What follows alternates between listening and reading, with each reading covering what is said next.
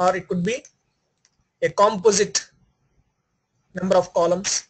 You can create primary index on a single column or a combination of the columns. So it is called as a composite primary index if you have more than one column in the primary index where you can separate it with commas. And you have a unique primary index where you won't allow duplicate values in this column. And you have a non-unique primary index where you allow duplicate values also in the primary index column. And from Teradata 13 onwards, we have seen there is no primary index keyword with which you can create a table with no primary index and it, internally Teradata will take care of the data distribution. We will discuss about no primary index table in the utilities part when we explain you the fast load utility. There is a relation with that. So these are basically two kinds of primary index we have seen unique primary index and non-unique primary index. It could be composite or it could be simple, the single column. And then once you create the primary index at the time of table creation, you cannot change it anytime. Right? You cannot change the primary index of the table which you have declared in the structure at the time of table creation. If you want to change the primary index, you have to take a backup of this if there is a data in the table you have to drop this table, you have to recreate it with the new primary index and then get the data back from the backup to the actual table. It is the only workaround what you can do if you want to change primary index of an existing table. Okay, by existing table, okay, if, if the table is already existing and if data is already populated in the table, you cannot change it. The primary index can be decided at the time of table creation only. Right? And we have seen what happens if I create a table with unique primary index and I insert some data in it.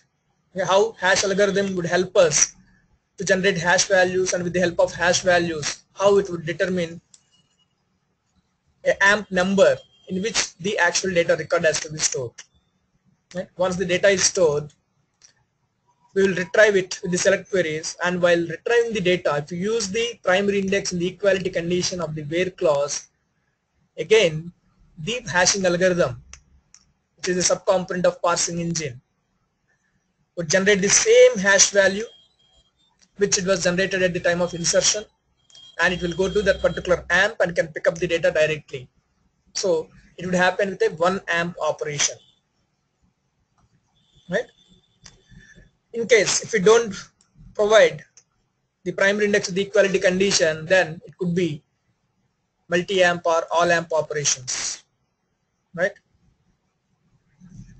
Similarly if it is a non-unique primary index the difference is there could be multiple records with the same primary index value because it is non-unique. So if you have multiple records with the same primary index, they all would go into same AMP because the hash algorithm generate the same hash value for all those records of same primary index value. Right? What are the two major characteristics of the hash algorithm? It generates same hash value for same index values always and it generates different hash value for different index values always.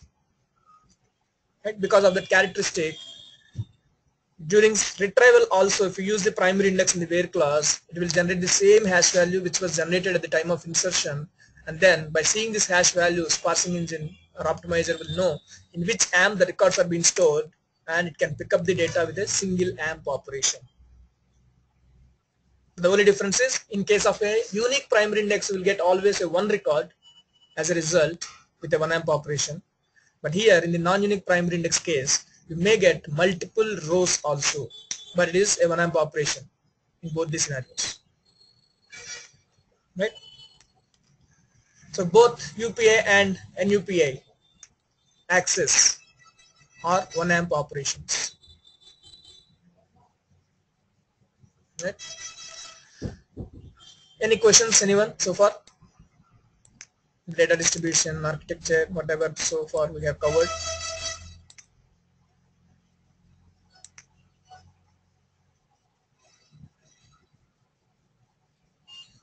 Okay, here I see one question in the chat window. the number of amps and virtual disks increase as load increase. No, that is not the statement. Whenever load increase, you can purchase Teradata system and you can combine it with the existing machine so that the number of amps and virtual disks would increase and based on the upgradation what you did internal hash maps everything is also upgraded. So yes.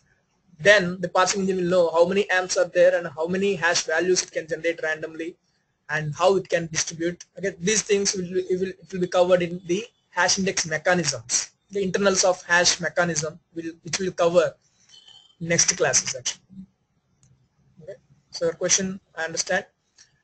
If number of amps and vdisks increase then how hash algorithm can know the new amps and new vdisks added in the system and it can distribute the data across all the available virtual disk at that moment? Yes it would happen. Whenever you add the machine you upgrade all the hash maps hash algorithm everything so that it would know that new number of amps are added in the system. Clear? Good. Any other questions okay. So now let us see some example of a table and we'll see how we have to choose a primary index. And if you choose primary index of one column how the data distributes and how it would impact okay? The choice of primary index impact the data distribution and the performance of the table. Some examples. So case one. I have an order table with four columns order number, customer number, order date and order status. These are four columns in my table. And order number is a logical primary key. When I say primary key, it identifies each and every row uniquely, so it is almost unique.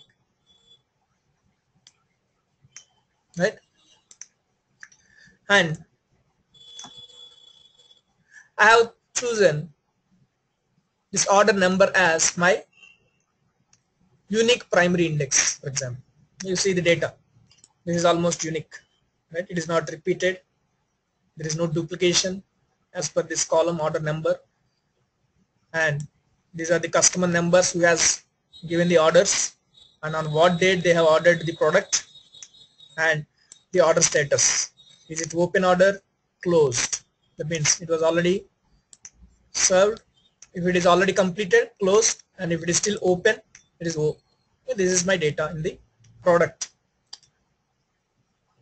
order table order numbers their corresponding customer who ordered it on what date and what is the status of this order right and if this is the table and if you have to choose a primary index out of this which one we generally choose you do the data analysis and if identify this particular order number column is unique then you may choose this order number as a unique primary index. Then what happens?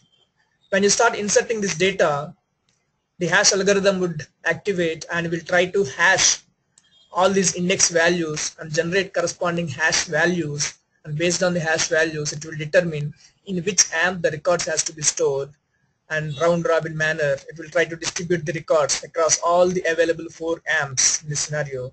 See here two records in first amp three records in second amp two records into third amp two records again onto fourth amp. So can I say it is evenly distributed?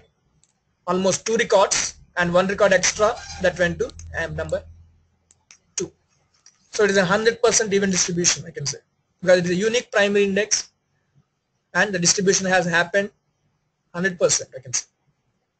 Right? Or 99.9 percent. Okay. When the data is distributed very much even then the amps would get even workloads on them.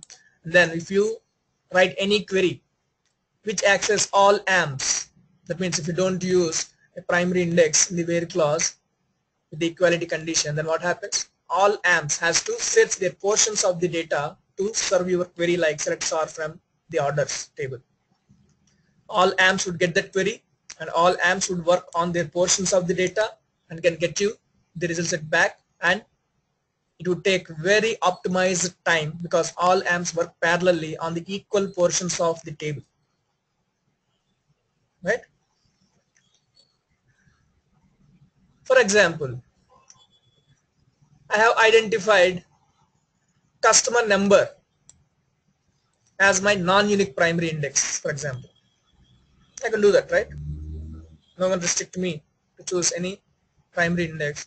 Okay, I did my analysis and I found customer number is useful.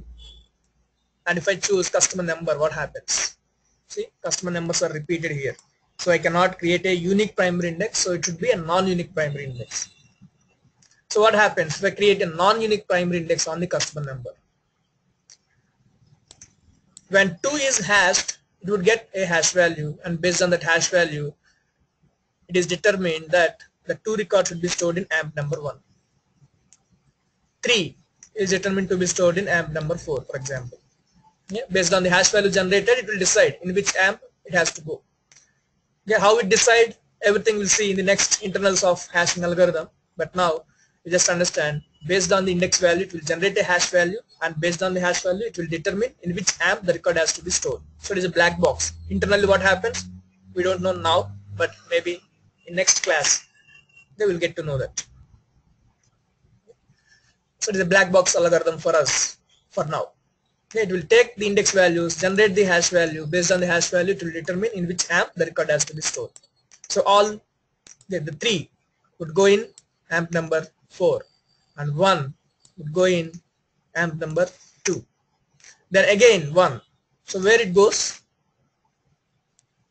If again the customer number 1 comes the same hash value which was generated for the previous record would be generated again. And so in the same amp all the records of the same primary index value has to go in isn't it? See all ones are there in a single amp all twos whenever a 2 value comes in primary index it would get the same hash value generated for the records which was already generated for the previous records and so all these records of primary index value 2 would go in the same M. similarly all threes would go in same M. so there are only three distinct values in our example and have four different amps as we have only three distinct values only three amps are populated but one amp don't get any data. So this is called as skewness of the data where one amp won't get any data and other amps has to get more data. And if this is the case the workload is not even across the amps. So this particular amp has to work more. It has to process four records maximum and it has to process zero records it is minimum. If the difference is more then the workloads are not even. So whatever time this amp takes to process the data that would be the time you have to wait to get the result back from the Teradata system isn't it? Okay. Let's see the next scenario where I'm going to choose my order status as the primary index. How many distinct values I have can you tell me how many distinct values I have in the order status? It is only O and C. Only two values. So if I have only two values, two distinct values in the primary index column, how many amps are getting populated with the data? Can you tell me?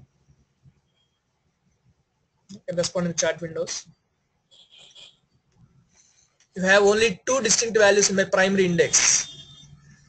How many amps are going to be populated? Very good. It is only 2 amps. Because all O's which generate same hash value would go into 1 amp. Here in this context is third amp. And all the records with the value C would go into a single amp. That is in this context it is amp number 1 so only these two amps are populated with the data and rest two amps get zero data.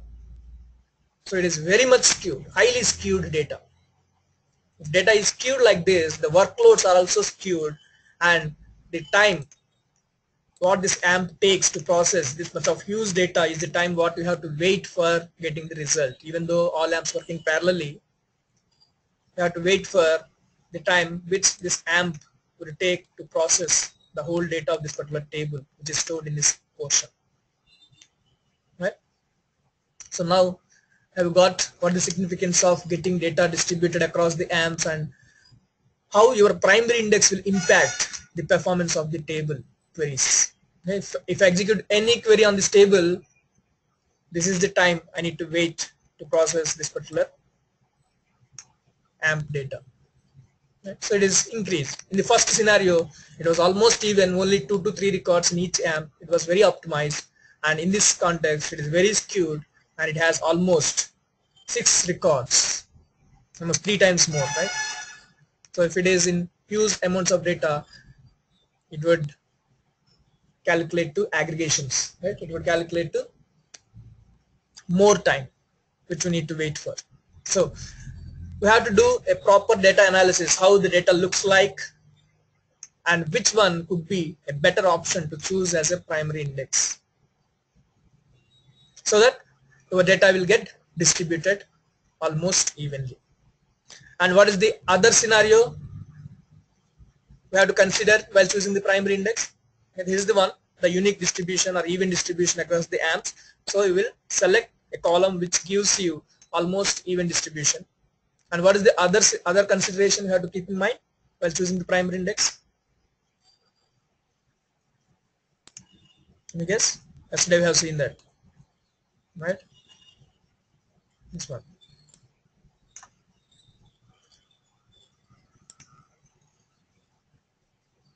This one. What is this?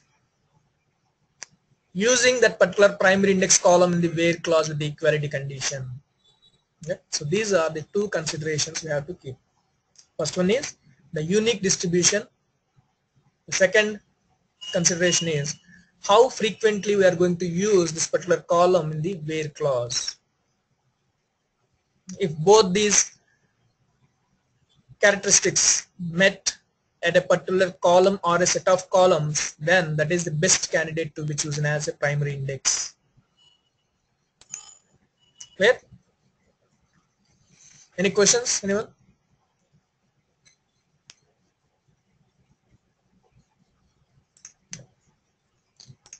Yes, Kanan. Um, again, sorry I don't have a mic, so you might have to you know, mute me once I finish the question. For today it is fine, but from tomorrow please. Yeah, actually, okay, sure, I'll make sure. Yeah. Okay, the question is, uh, I want to, uh, just a question here. Mm -hmm. In this particular slide, where you have two unique values for the order status, which is O and C, right? Mm -hmm. Now, okay, the first row went inside through the parser, the hash algorithm generated a hash value and it went to, say, for AMP3. Right right? So again, if the second row has O, it will go again to AMP3, which I understood. Right. My question is, in this, for the example sake, my understanding is that you have shown the C as a different AMP, which is which is located right now in AMP1. Right. It is right. highly possible that even for C, it can go and sit in the same AMP3, right? Because yes. it all depends on what hash value generated by the hash algorithm. Right, right. Yep. It could happen, yes. So it, can happen that even all the C will go into AMP3 and even AMP1, 2 and 4 might remain empty. Yes, yes. Okay. okay. I just want to confirm that. Right, it could happen. Okay.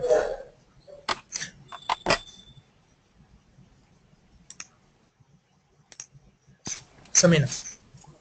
Yeah, so in case of non-unique primary index, Mm -hmm. uh, so the hash so the hash value is going to be different for each record. I just want to confirm for non-unique primary index it could happen that all the records will have same value because the non-unique primary index would allow duplicates mm -hmm. right? So it could be all closed right? After some time all these records could have a value C closed status of all orders. Right?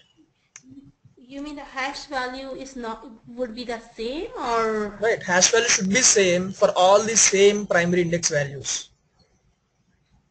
Okay, but how would we, if suppose if we want to get a particular record, so how can we get that, you know, record if hash value same?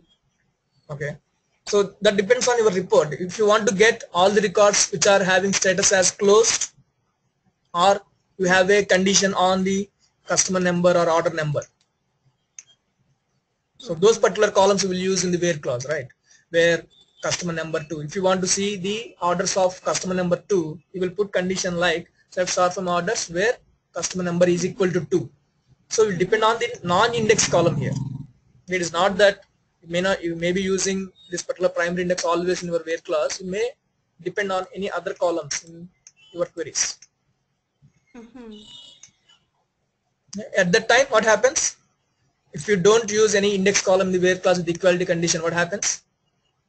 How the parsing engine will decide to get the data back? Mhm. It's an all AMP operation, right? Mhm. So all AMPs has to work on their portions of the data. And if the data is evenly distributed, it is an optimized time. If data is skewed, it is skewed time. That means we have to wait for a long time, so the performance is degraded. Mhm.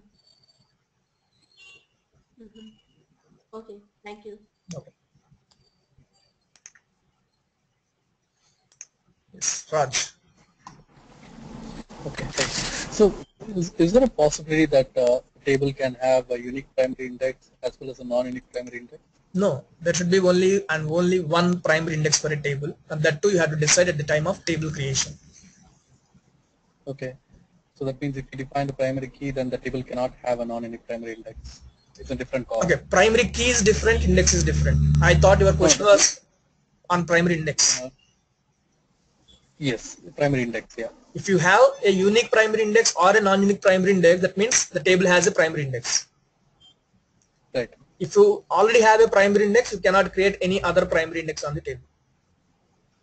No, what I'm asking is, if I have a primary index on a table Mhm. for a different column, can I define it as a non-unique primary index? No, primary index always should be one. Got it? Right.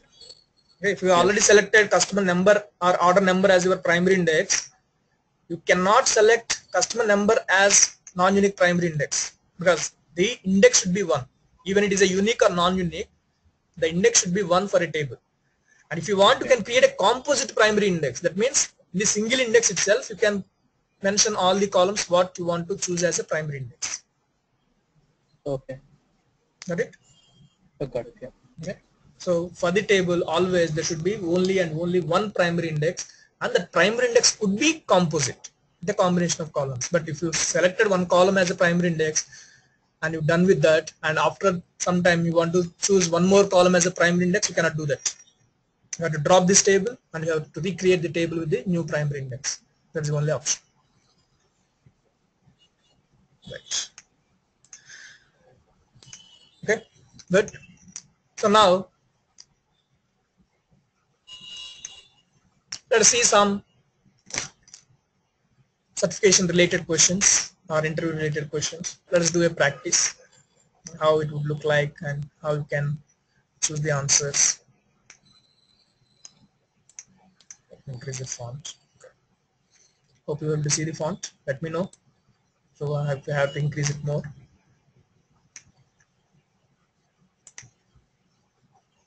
Okay.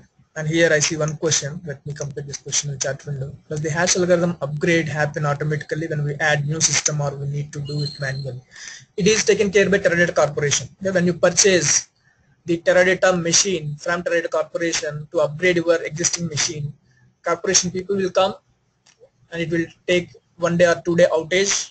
They, they will generally do it uh, in the weekends. They will come and upgrade the system by adding new node to the existing configuration and they will upgrade the hash algorithms, hash maps, everything. Okay, so it is done by Teradata Corporation and it is very much transparent to the DBAs and developers. They don't know. Okay.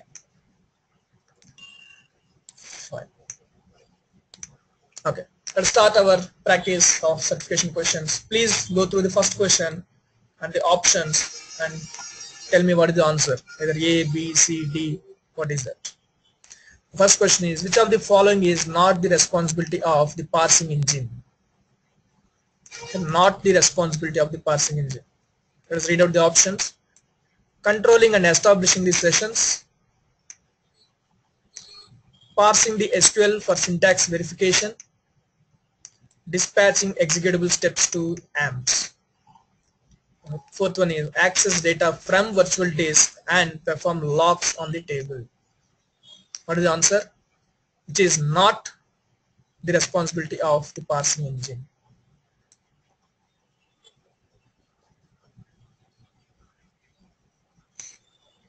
Let's see each one of it.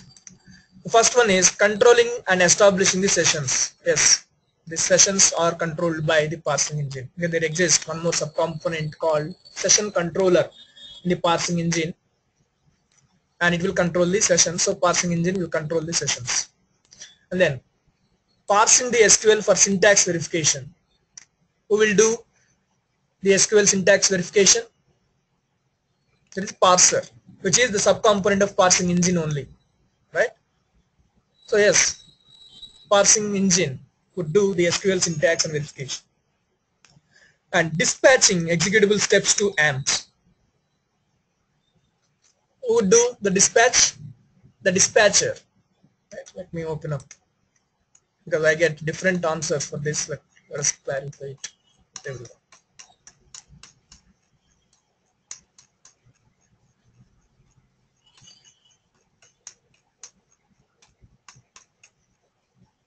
Right? I think your screen is getting refreshed still. Just a moment. Right. Here, parser, optimizer, and dispatcher parser will check the syntaxes and semantics, object existence and access rights. Optimizer will find out the best way of execution and divide the SQL into executable steps by the AMPs. Dispatcher will dispatch these executable steps to the AMPs. Right? So now let us go to the questions. So controlling and establishing the sessions. Okay, it is done by session controller, which is subcomponent of parsing engine only. Okay, and it is activated only at the time of user ID and password verification, but not for each and every individual query. Session control is only to establish the session. It executes only once per a user ID. And then the SQL syntax is verified by the parser, which is a subcomponent of parsing engine. And dispatching the executable steps to AMP is also carried out by the PE because dispatcher is a subcomponent of PE. And access data from virtual disk and perform locks on the table. Who does this? Access data from virtual disk directly and performing locks on the table. The physical operations on the data are performed by what component? The physical operations means who access the virtual disk directly and performing all the locks, sorting, aggregations, formatings, joins. All these operations are performed by AMPs. Right? So now tell me what is the answer. Which of the following is not the responsibility of PE? Not the responsibility of the PE. Please observe this. I see answer in a different manner. It is not the responsibility of the PE. So what is the answer? Now.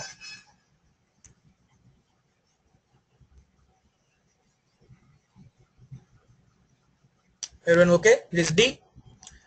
Access data from virtual disk and performing locks on the table. So that is the answer. It is not the responsibility of PE, but in the responsibility of AM. Right? So this type of little confusions we have to resolve. That is why I just wanted to give the boot camp of how to prepare for certifications, how to prepare yourself. Because you may be knowing the concept very well. But at that moment, if you don't see this keyword not, you will give a wrong answer. So please read the question carefully and please read all the options carefully. Then only you answer. Because many times all the options would look like very similar. If you read each one of them, you feel everyone is right. So you have to completely read and you have to choose a very relative, a very closer to the answer. That is how you have to choose it. Okay. So everyone clear?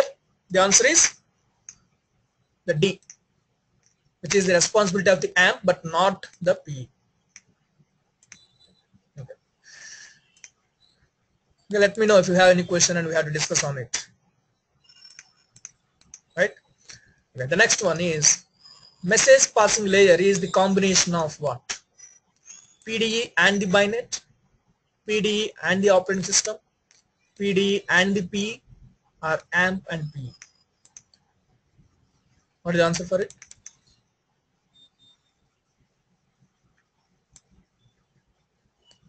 What is the answer for 2?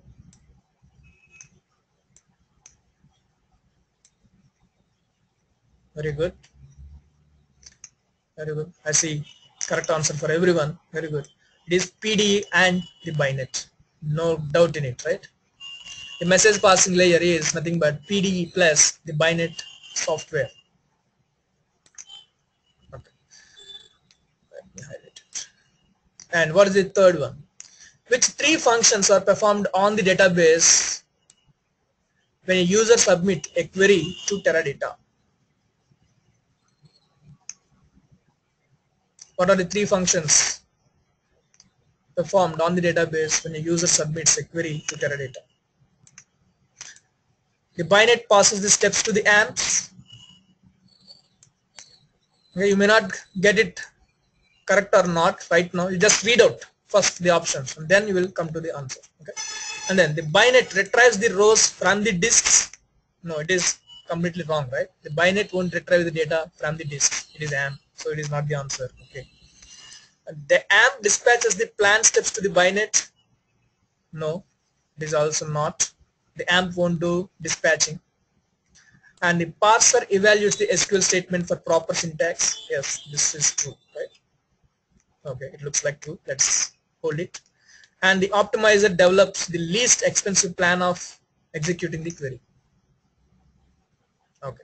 So now what all three, see here, you have to choose three. Even you choose four or even you choose less than three, it is a wrong answer. You have to exactly choose three.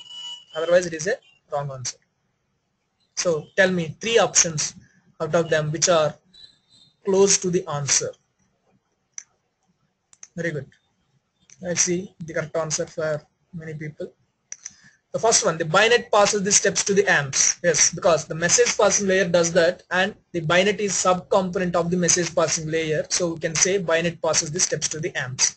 Okay, partially it is true.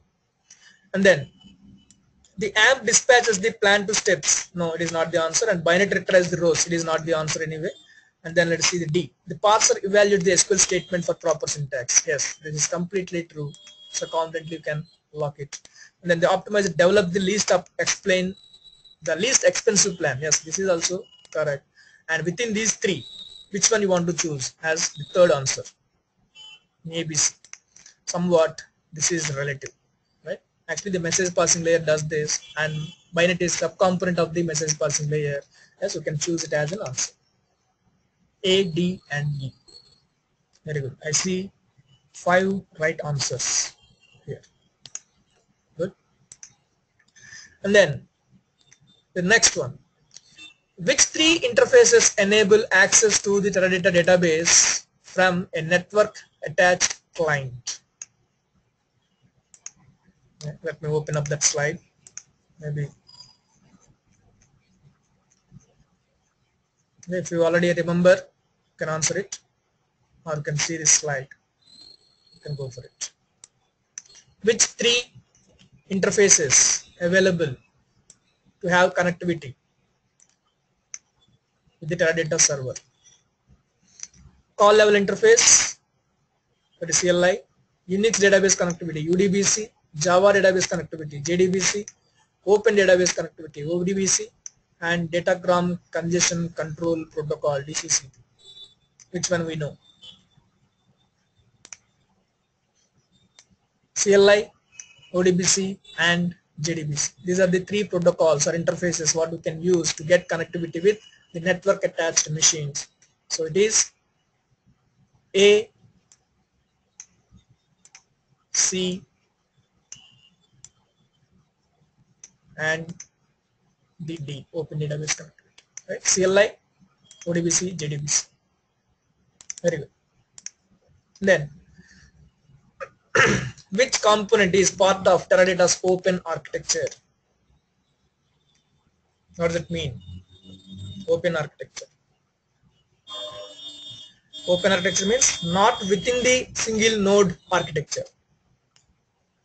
Within these components, options, whatever you see, it won't exist within the node that is not in the architecture, it is open to the architecture.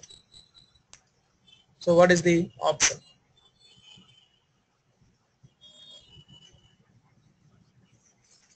Is the node because node cannot exist within the node, right? That is the answer. AMP exists within the node. Disk has exists for each and every node, right? Because if each node is a self-contained executable. So node has everything, the disk, AMP, BYNET, message passing layer, keys, everything a node would have. So disk also would be within the architecture of the node. And BYNET, yes, it is always there. Along with the PDE, the BYNET works as a message passing layer. So BYNET would exist within the node. So all the other components would exist within the node, but node cannot accommodate within the node. So it is the open to the architecture of Teradata. Clear?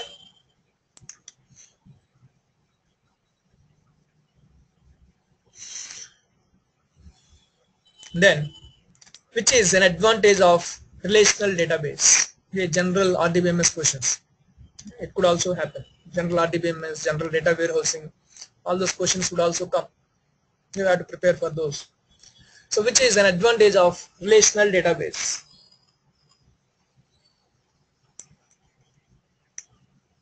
They are technology driven, they are system driven, they are enterprise driven, or they are business driven. Yes, but it is D. Any technology is business driven. If business wants, we can provide the solution. If business don't want, whatever technology it is, what is the use of it? Right? So any technology generally of a business driven technology and relational database concepts also business driven. It is all to make the business understand the functional problems. Right? So it is business driven. Okay. The next one. When accessing the Teradata database from a network attached client, which two software components are used for communications? From the network attached machines to access the server, what all software components are used and you have to choose how many? Two. Please see. If you choose one or if you choose three, it is a wrong answer. You have to exactly choose two. So what are the components? We require to have the connectivity with channel attached, means sorry, not network attached systems. We don't know these things, micro cursor service, micro call level interface, but we know micro Teradata director program and micro operating system interface. Isn't it? MTDP and MOSI. I see different answers here, so let me clarify this. See here, what all two components we have? MTDP and MOSI. These are the two software components required to have the communication from network attached machines to the Teradata server. So this MTDP and MOSI. Right? So after some time, after some days, if you see, all would look like similar. Okay, so at that time, you will get the confusion. But here, last day only we have this discussion, so it is easy. So please remember it till you complete. A micro Teradata director program and micro operating system interface are the two software components used for network attached clients. Okay. The next one, which three functions are performed by Teradata when a user submits a query? You tell me. You have to choose three. Three functions performed by Teradata when a user submits a query. What are the answers?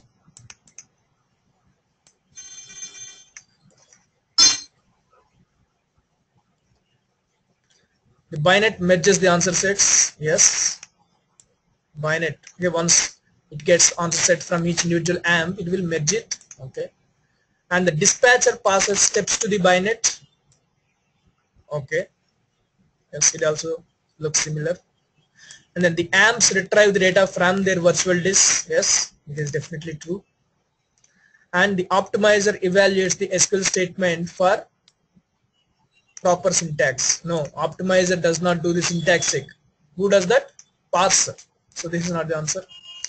And the BYNET performs any output data conversion on the answer sets. Who does this operation data conversion? It is by the AMPs but not by the BYNET. So it is not the answer. So this is relatively close answer. The dispatcher passes steps to the BYNET. Yes. Right. So A, B, C. Very good. I got only three answers, but three answers are correct. What happens to others? Please respond. Yeah, even it is a wrong answer, not a problem. There is no negative marking. Please answer it. Everyone clear up to here for all the questions? You want me to explain anything out of these questions? Everyone clear up to here?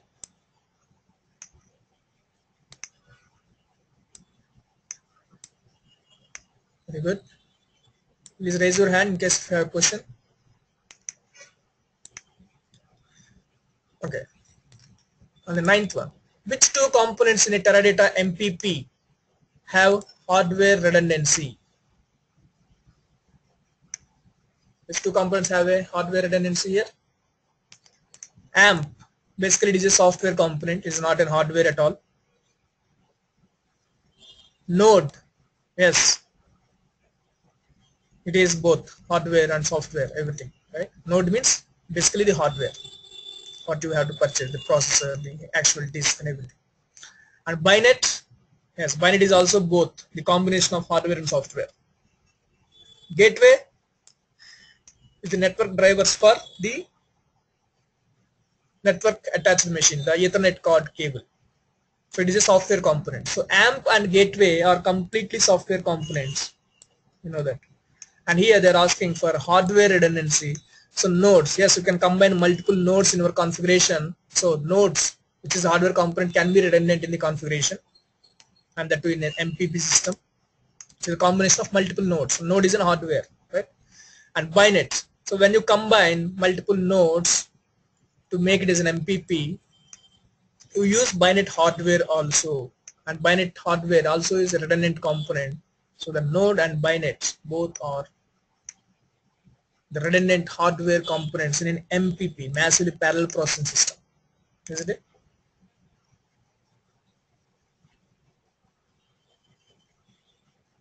I see different answer. Everyone clear now for this? What all are the hardware components here? Simply node and bynet only. AMP is completely a software component. Gateway is completely a software component. So only node and bynet are the choice. You have to choose two. Clear? Right. Let us see the last question for today. The AMP controls its portion of the Teradata database performing the physical database work, including which two tasks?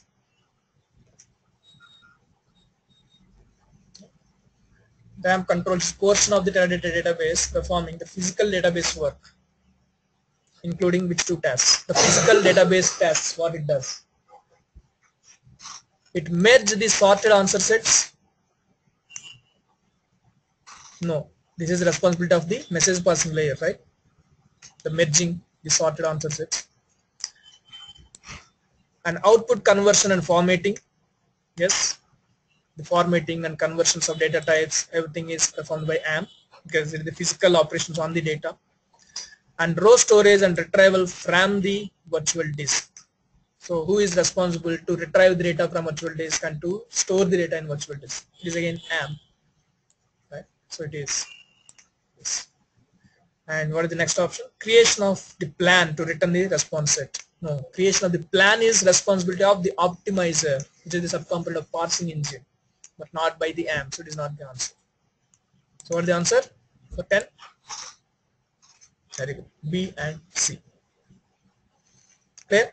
So I just want to give you heads up in how a Teradata certification questions would look like so that you can pay more attention to each and every concept what we go through in the next classes. Now you identify, right, what is the significance of each and every slide what we go through in our course material. Everything has a question in certification. Okay, so please make attention and once complete the class you just go through this course material and prepare your fade notes so that you will remember the things and can perform better. Right. Any questions anyone?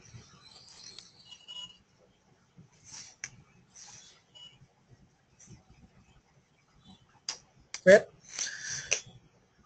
Fine then. Okay. Let me see one question. Come down. Yes, come.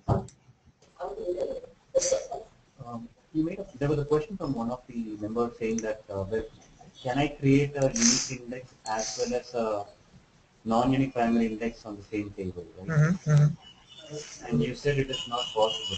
Right. Uh, will it throw an error when you do that, or is it something?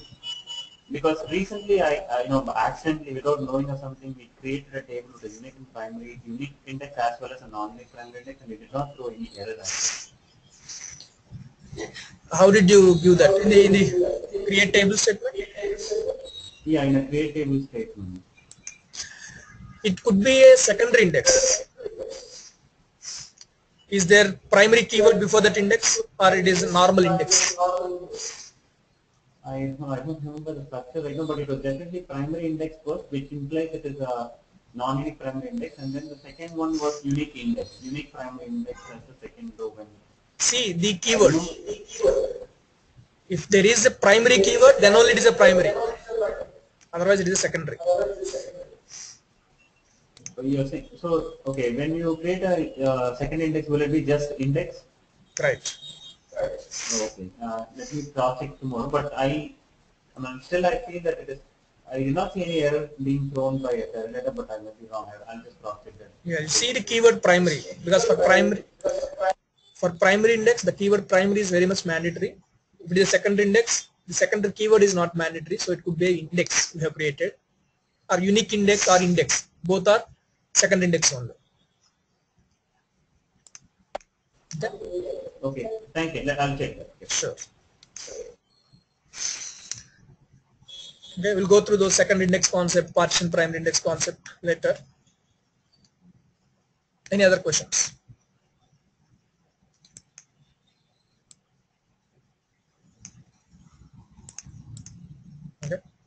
Fine. So we'll meet tomorrow, the same time, same link. Okay, please go through the course material and please start installations. Okay, so probably Friday we'll have a off. So we'll get three days time to go through the installation process and all those things. And I will send you a set of action items for this long weekend because Friday also I'm giving off to you. We will start on the installation part and I will send you some action items, the videos of data protection so that you can go through that and complete them in your leisure time during these three days. I will send you that notification to all of you. Okay. Thank you everyone. See you again tomorrow at the same time to the same link.